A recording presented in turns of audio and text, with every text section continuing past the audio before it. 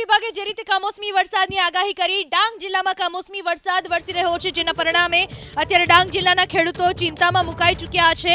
ખાસ કરીને પાકને નુકસાન થવાની ભીતિ સેવાઈ રહી છે આહવાના ધવલી દોડ અને શિવારી માડમાં વરસાદની શરૂઆત બરબાદીનો વરસાદ થતા ખેડૂતોના જીવ તાળવે ચોટી ગયા છે દ્રશ્યમાં મેં આપને બતાવઈ રહ્યા છીએ પવન સાથે વરસાદ વરસી રહ્યો છે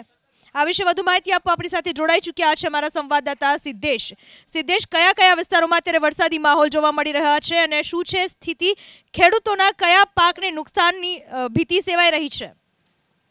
પૂનમ ડાંગ જિલ્લાના આહવા તાલુકામાં આવેલા ધવળી દોડ અને આસપાસના ગામોમાં અત્યારે કમોસમી વરસાદ વરસી રહ્યો છે ભારે પવન સાથે વરસાદ વરસતા ડાંગ જિલ્લામાં મુખ્યત્વે જે નાગલી સ્ટ્રોબેરી જેવા પાકો થાય છે એને ક્યાંક ને ક્યાંક નુકસાનની ભીતિ સેવાઈ રહી છે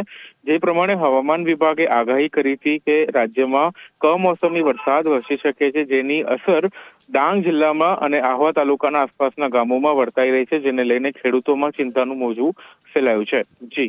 આભાર આપનો તમામ માહિતી બદલ તો રાજ્યના ખેડૂતો માટે માઠા સમાચાર કાલથી બે દિવસ રાજ્યમાં વરસાદની આગાહી કરવામાં આવી છે સૌરાષ્ટ્ર કચ્છ અને ઉત્તર ગુજરાતમાં વરસાદની આગાહી કરવામાં આવી છે હવામાન વિભાગની આગાહી મુજબ આવતીકાલથી બે દિવસ રાજ્યમાં કમોસમી વરસાદ વરસી શકે છે सौराष्ट्र कच्छ उत्तर गुजरात में वरसाद संभावना हवामान विभागे व्यक्त करी है अलग अलग जिलों में वरसाद संभावना हवामान विभाग की आगाही मुजब आने वाले दिनों के लिए जो गुजरात के लिए फोरकास्ट दिया गया है वो डे वन के लिए ड्राई वेदर प्रेवेल करेगा और डे टू और डे थ्री में लाइट से मॉडरेट रेन साथ में ही थंडरस्टॉर्म होने की चांसेस हैं आइसोलेटेड प्लेसेस में और डेवन में जो ज़िले हैं जहाँ पे हल्की मतलब लाइट से मॉडरेट रेनफॉल और साथ में थंडर स्टॉर्म होंगे वो ज़िले हैं नॉर्थ गुजरात के बनासकांठा साबरकांठा पाटन और साउथ गुजरात ड्राई रहेगा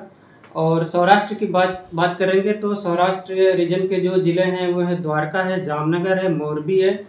और गिर सोमनाथ और कच्छ जहाँ पे आइसोलेटेड प्लेसेस में लाइट से मॉडरेट रेन होगी और साथ में ठंडे स्टॉर्म भी होंगे આવતીકાલથી બે દિવસ સુધી રાજ્યના કયા કયા જિલ્લાઓમાં વરસી શકે છે વરસાદ જાણીએ સહયોગી યશ પાસેથી યશ બિલકુલથી પુનઃ હવામાન વિભાગ દ્વારા આગામી બે દિવસમાં રાજ્યમાં કમોસમી વરસાદની આગાહી વ્યક્ત કરવામાં આવી છે તેને હવે જોવામાં આવે તો કયા જિલ્લામાં વરસાદ વરસી શકે જેમાં કચ્છમાં પણ વરસાદ વરસી શકે છે આ સાથે સૌરાષ્ટ્રમાં મોરબીમાં કમોસમી વરસાદની આગાહી કરવામાં આવી છે ગીર સોમનાથમાં પણ કમોસમી વરસાદની આગાહી છે આ સાથે જામનગરમાં કમોસમી વરસાદની આગાહી કરવામાં આવી છે દેવભૂમિ દ્વારકા કે જ્યાં પણ કમોસમી વરસાદની આગાહી કરાઈ છે તો પાટણમાં પણ કમસ્મી વરસાદની આગાહી છે સાબરકાઠામાં પણ કમસ્મી વરસાદની આગાહી કરવામાં આવી બનાસકાંઠામાં પણ કમસ્મી વરસાદની આગાહી છે તો રાજ્યના વિવિધ વિસ્તારોમાં કમસ્મી વરસાદની આગાહી હવામાન વિભાગ દ્વારા કરવામાં આવી છે ખેડૂતોને પણ સૂચના આપવામાં આવી છે કે ખેડૂતો પોતાની જે જળ છે તેને યોગ્ય રીતે તેનો